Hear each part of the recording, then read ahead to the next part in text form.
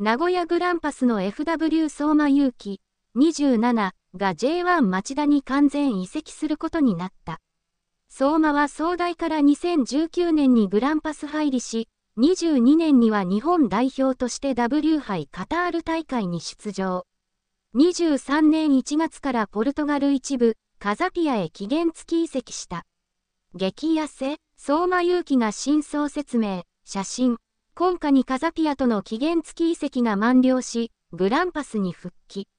14日の柏戦、トヨタスに出場して得点を挙げたが、20日の神戸戦、ノエスタは欠場していた。